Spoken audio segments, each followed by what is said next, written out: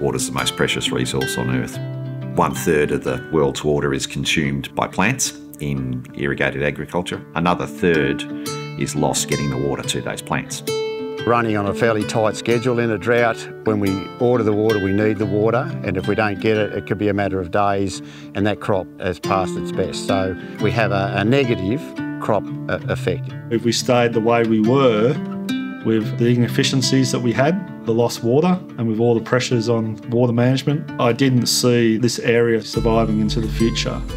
Murrumbidgee Irrigation is a water delivery company. We take water off the Murrumbidgee River and we run it through over 1,700 kilometres of channel systems and deliver water to over 2,500 farms.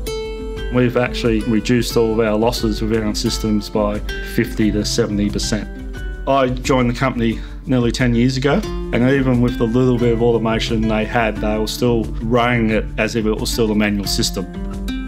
The first thing I had to do was look at the technology we were using because we didn't want to be a system, you know, with multiple technologies. Rubicon provided an end-to-end solution.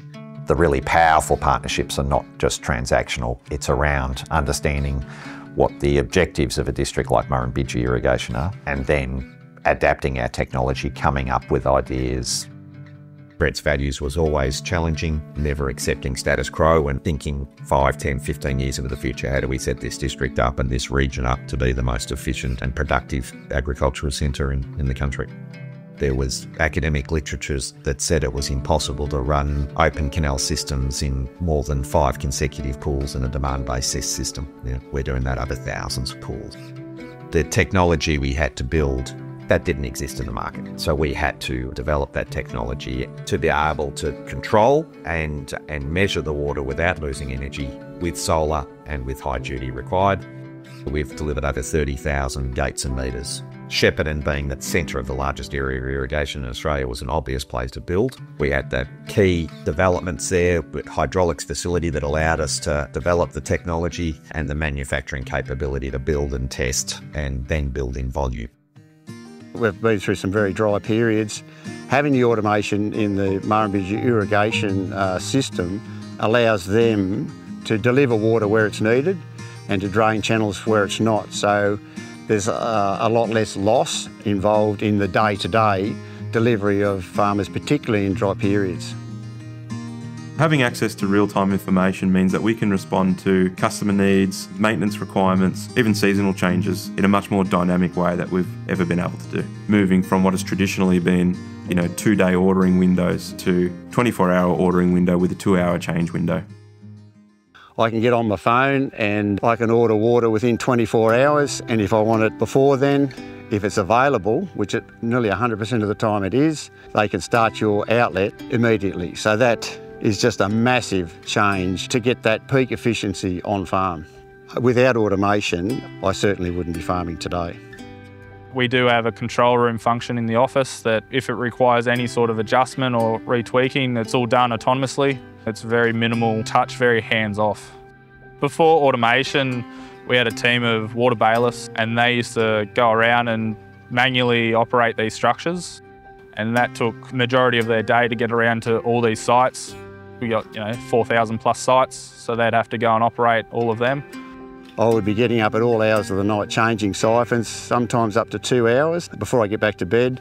And then I'm back up at six in the morning and we don't get a break until the, the, the next night. In those early years, there was a lot of pushback to not automate and leave things the way they are. There was a lot of uh, scepticism around the area, particularly with farmers who were used to dealing with their channel attendant and writing their notes and, and doing whatever they were comfortable with. It was a big change. And then we found some areas where we had more progressive customers. We basically automated those areas first. After about that four year mark, it shifted from push to pull. Customers that hadn't been automating saying, oh, don't bring that automation out here, customers start saying, oh, when do we get automated? Why aren't we automated yet? We want automation as well. We looked at the expense and thought, well, that's another cost centre for our business. Can we handle that? And now looking back, we would never even consider the cost. The cost is uh, insignificant. It really did turn a lot of us around very quickly because we experienced the benefits straight away. We're very open with all of our staff and said this is what the future of automation meant. Now, which, which was a bit scary. We did a lot of work to say, but you know, there's other roles, there's other things we can do. We can retrain you, we can reskill you. Within about the first three, four years, we were able to actually start redeploying some of those people because we retrained them.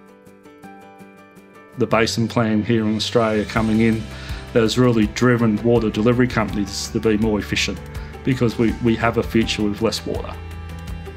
The Australian Government has made a lot of funding available under the efficiency programs that can really result in irrigation infrastructure upgrades and we've seen that at Murrumbidgee Irrigation. They're now completely automated. They've finalised a, a big program of work which really means that they're the most efficient they can be. They're supporting their communities, they're promoting growth in the areas, and we get the absolute benefit of water return for the environment.